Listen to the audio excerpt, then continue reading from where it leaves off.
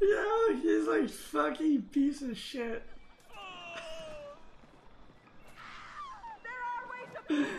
So, Pink just lost three landmarks, and he has no wood, so he can't repair the TC.